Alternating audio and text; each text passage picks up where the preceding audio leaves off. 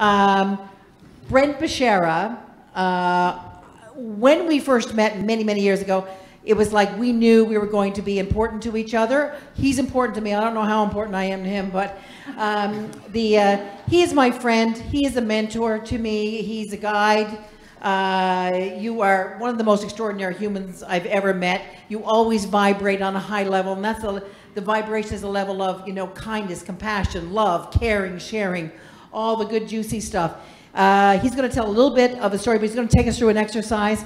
Uh, he is an Afghanistan war vet who served as Special Forces, uh, Navy bomb disposal for 24 years.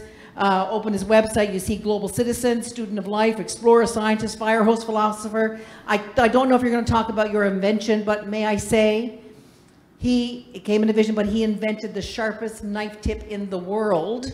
It's a combat knife, and it's really significant. He's a big star when he goes to Vegas, by the way. He's like in the knife world. Uh, he's really an extraordinary human being. And what I love most of all, and his wife is sitting right here, is I love their love and just relationships and how you take it so seriously because business is just a series of relationships, isn't it? At home. And anyway, it's a beautiful thing. You are so well rounded in my world. Love you. Brent Beshara, everybody.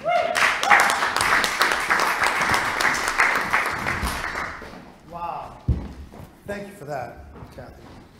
Uh, I just want to say that Newfoundlanders have been leading the way for hundreds of years. We've been COVID friendly since the 1600s. Look at Mummers, right? We've been COVID friendly. yeah, right. So, who's the most important person in your world? Well, the pilot says to put your own mask on first. So, uh, what's really neat is uh, just a little correction on that one, Kathy. Not the sharpest tip, but the strongest tip. Strongest, right. Strongest, that's okay. You're the But- sharpest knife in the drawer, right? I forgot. Thank you so much for that.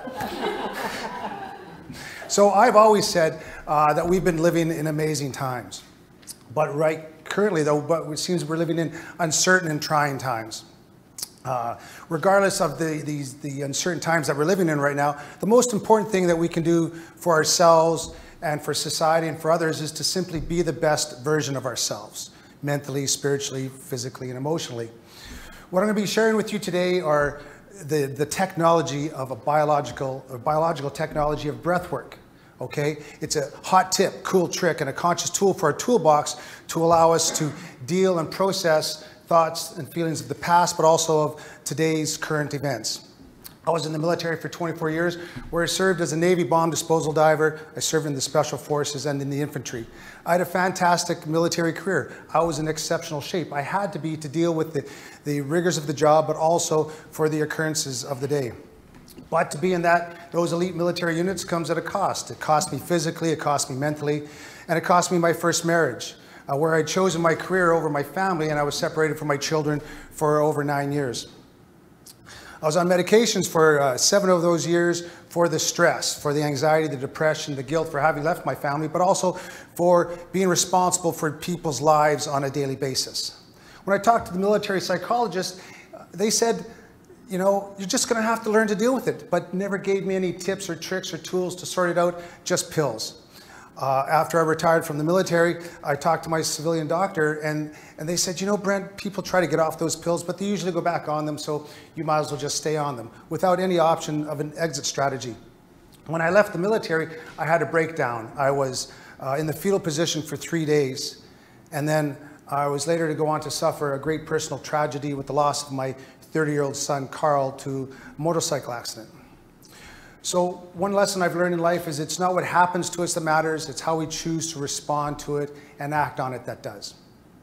Since my retirement, I've had the luxury of study. I've used my military skill set of pattern recognition to study the patterns of life, to study the application of life, the mechanism of perception, as in perception is reality. I've studied and learned that our thoughts lead to our feelings, our feelings lead to our actions, and our actions lead to our results. Thoughts and feelings happen on the inside, results happen on the outside, and the bridge between the inside world and the outside world is action. If we do nothing happens, uh, what we put out is what we get back. And if it is to be, it's up to me. So I've also learned that, uh, well, let's just back that up for a second. What is a thought? What is a thought? What did you have for breakfast? Right? You, some of you might have seen cheese on toast on a plate. Well, that's a thought of the past. What are we going to have for supper? Some of us are going to be having pasta and cheese on a plate, and that's a thought of the future. Thoughts of the past and the future are simply pictures in our mind, images that we, we have. So there's so if we have shitty thoughts, we're going to have shitty feelings. If we have good thoughts, we're going to have good feelings. Well, I just want to share with you that shitty is actually oh, an acronym that I've come with up with, and it's simply our stories, our history, our injuries, our traumas, experience, events, and emotions, right? And that's what when I say the word shitty, that that's all it is. Is that's just our stuff, our stories, our history, and such. So, and and th- that stuff can get stuck inside of us. I've also learned that feelings are like flatulence. No different than a burp, shit, sneeze, fart, laugh, orgasm. Better out than in, as Shrek always says. And it's a process of the body. No different than digestion, circulation, or respiration. A process of the body. And we can impede that process by simply by getting bunged up, either through my mind or my actions, I can impede that process. So if I hang on to a number two or number one for too long, it's going to start to bung me up and, and impact my experience of the present moment. That's just simply the math of it. But also, I've learned that we're being civilized to death with technology, all the bells, dings, whistles, and screens constantly going ding, ding, ding, ding, bing, bing, bing, bing. Well, that's causing little cortisol, little, little epinephrine, and little adrenaline releases in the body. So just let, let me recap here. Uh, what, are, what are we dealing with here? We can be berated and, uh, and have our experience of the present moment limited by shitty, shitty thoughts of the past. We can also be berated and debilitated by shitty thoughts of the future, fear, doubt, worry, lack, and scarcity we can also be uh, uh, berated by our current uh, events, by the, the, deregulation of all the, the, technology, the civilized death, the bells, dings, and whistles, which can cause issues in our body like adrenal fatigue, things like autoimmune issues, such as fibromyalgia, lupus, Lyme's, Crohn's, Addison's, Raynaud's, arthritis, COPD, diabetes, obesity, and some cancers, okay? But hey, we've got options. We've got tools, biological superpowers, biological technology that we can take advantage of. So what I'm going to be sharing with you is two breaths, biological technology and a superpower that we can take advantage of. It's a hot tip, cool trick that we can utilize. It's free, all right? The breath is very important. It's the first thing we do in life and it's the last thing we do upon retiring from this material world. So one breath I'm going to teach you is a yoga breath.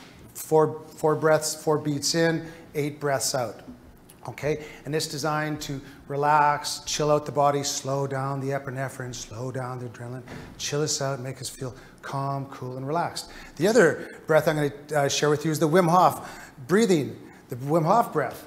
And it's to do the exact opposite. It's actually to ignite and activate the fight flight response in the body to snap us out of the chronic trance that we're in through our, our daily lives, the chronic trances and stress of the cortisol and epinephrine. So, what's this Wim Hof? Well, Wim Hof is a man. He's an adventurer. He's a Dutch man from the Netherlands called the Iceman, and because he can, he says everyone can. Okay, he's broken 27, uh, over 27 records, mostly due to cold exposure. He's a beautiful human being, and I, I've studied under him personally. So, what the Wim Hof breath is, it's 30 breaths, and at the end of it is going to be a retention. Now, just to remind everyone, we don't do breath work when we're in water or we're driving or we're on stairs where we can cause harm to ourselves or others, okay? Because there's a potential. Good note. Good note, safety point. Because uh, we can have a potentially of fainting and or blacking out, and we wouldn't, wouldn't want to do that in the water because we will certainly drown.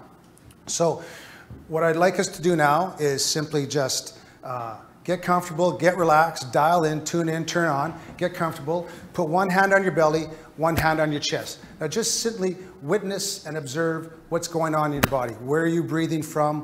What's its strength? What's its quality? The quality of our breath specifically determines the quality of our life. Now, the Wim Hof breath is going to be 30 breaths in. We're going to breathe from our belly to our chest to our head belly, chest, head. And we're going to do this here shortly. I've got a little metronome because we have to breathe hard enough, fast enough to activate that fight flight response to snap us out of that trance, okay? So one the beauty part about the the method though is that it, it snaps us out of that trance and it helps it reduces inflammation, suppresses inflammation in the body. It also uh, activates anti-inflammatory uh, qualities suppressing inflammation as well. Because inflammation is the root result of dis-ease. Look at that word, dis-ease, the uneasiness that we create. And again, chronically, it can deregulate our body and where our body starts to eat itself from the inside out. So, what I'd like to do is just take a big breath in from our belly to our chest, our head. Let it go. Full breath in. Let it go. Full breath in. Now fully out. Deeply in. And let it go. That's it. I just want you to now just let it go. Not fully out, just letting it go. Giving it no mind. I want you to make it like a wave. Follow along to the beat because we have to breathe hard enough and fast enough. If you feel lightheaded, dizzy, nauseated, or, or stuff like that, just slow down your breath. Okay, so we're going to do 30 breaths. At the end of the breath, I'm just going to say five more, four, three, two, one. Then we're just going to let go, and we're just going to simply hold our breath. And we're going to hold that breath for about a minute or so. And just watch what happens on the inside of the body. Okay? So we're going to begin that now. And let's see if this. Can you hear that? Out. So fully in and out. In and out. Deeply in, letting go. Fully in, letting go. Fully in, letting go. That's it. Keep it going. Follow along to the beat. That's it. Keep it going. Deeply in, letting go. Fully in, letting go. That's it. You're doing good. As Wim says, when we give our best, we get our best. That's it. Keep it going. Fully in, letting go. Fully in, letting go. Deeply in, letting go. Fully in. 10 more. That's it. Keep it going. Keep it going.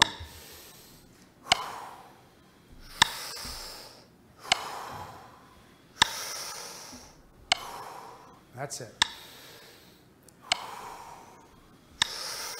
Five more.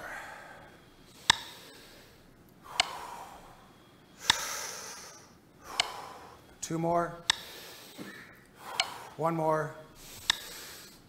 Last one, fully in. Let go and stop. Simply hold your breath. Simply hold. Witness what's going on in the body. You might be experiencing temperature changes, lightheaded, tingling, looseness in the body. These are all signs and symptoms of oxygen roaming freely throughout the body, activation of the nervous system.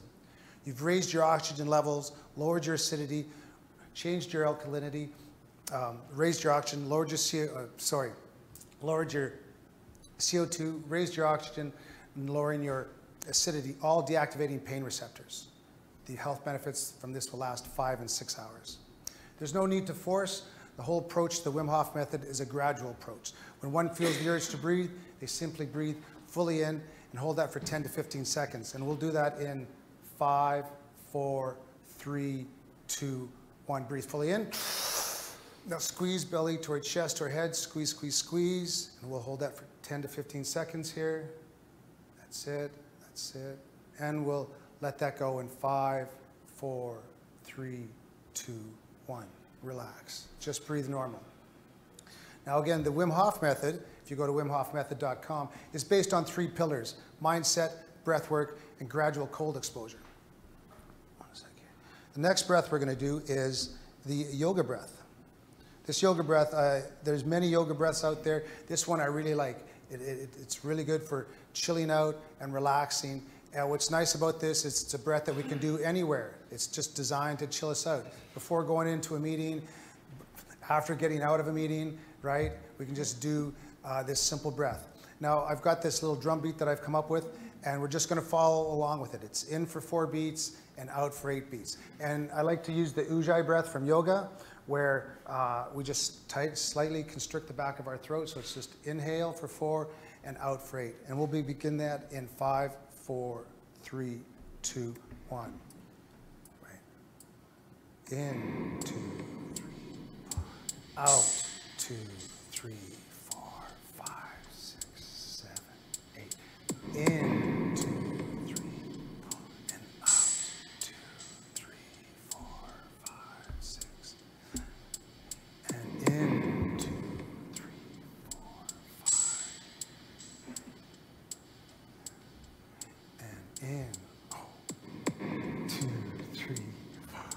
out, two, three, four, five, six, seven, and in. So just keep following along. So what we're doing now, what we've talked about, is the title of my talk was The Great Escape and Data Breaks. But are we really taking data breaks? Are we setting a timer to take to create breaks in our life? Are we is, is social media, is the Facebook, is the gram, is the tweet really uh, helping us out when it seems to be adding more more technology to our life? It's adding more uh, dings, bells, whistles, and screens. Is that really helping us? Remember, you're the most important person in your world. Uh, I find that uh, in these times of uncertainty that it, it, it, pays to be the most important person in our life and to take care of ourselves through yoga, mindset, breath control. These are tips and tricks that I've used for myself to help heal and deal with the processes of my shitty thoughts from the past, but also help me heal or deal with the daily occurrences.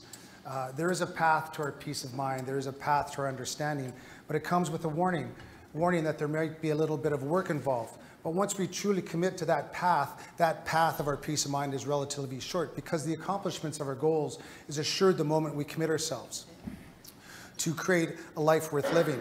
You know, you guys have been a fantastic audience. Uh, if it is to be, it's up to me, ye, and we. Have a great Navy Day. Thank you for your time. Amazing.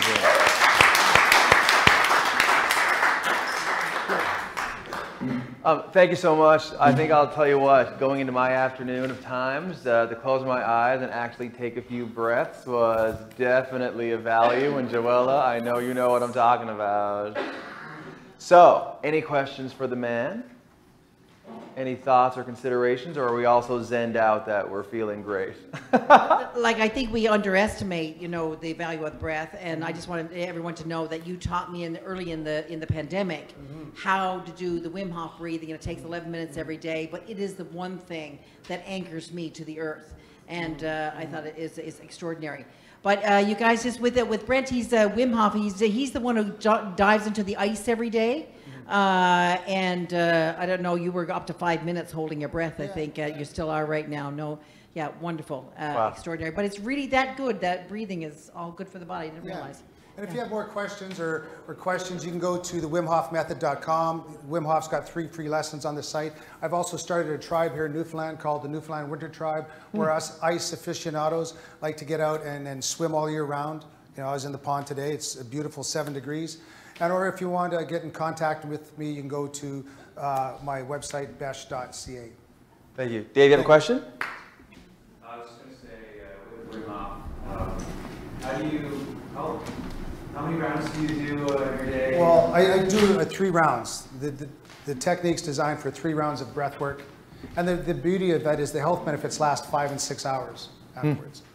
And about the cold exposure, you don't have to be uh, uh, a nut like myself by sitting in cold frozen ponds. You can just simply dial down the hot water and just get a cool, refreshing, uh, uh, cold water exposure just in our shower because you're going to have a hot shower anyways. Why not have a cold one at the end of it to seal our little pores? It's good for the skin. It's great for the hair. Yeah. And also the selfie is amazing. I just got to say. Yeah, absolutely, mm -hmm. absolutely. It's called hormetic stresses. When we expose ourselves to those stresses on a daily basis, we can get those shock proteins, those hormetic shock proteins from the cold or the heat. But I don't have a sauna, so I've got a pond, so that's where I spend my time. Hmm. Any more Amazing. questions? Awesome. Thank you, guys. Thank you. Cheers.